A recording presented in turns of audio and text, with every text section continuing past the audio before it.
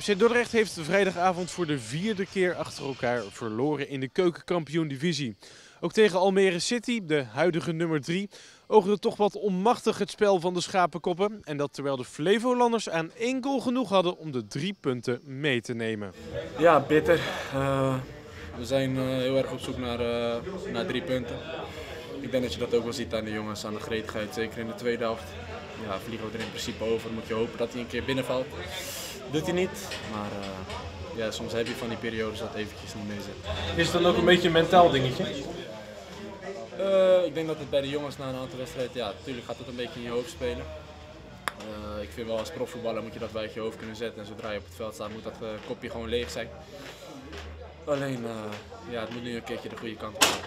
Als je de wedstrijd terugkijkt, nou, lag niet aan tactisch.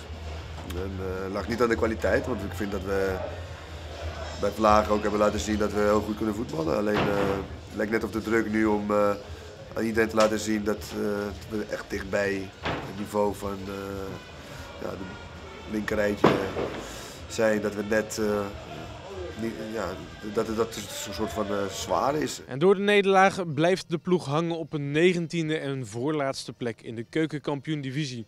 Komende vrijdag opnieuw een thuisduel, maar dan tegen de Graafschap. Kijk, de, we hebben nu na Eindhoven hebben we Willem II gehad. Daarvoor hebben we Roda gehad. Allemaal toppers, subtoppers. VVV.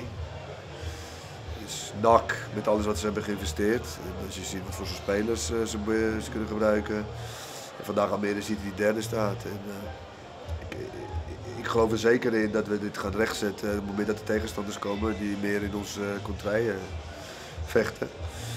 En, want ik heb in geen een van deze wedstrijden nummer 19 tegen de top 5 of top 6 gezien.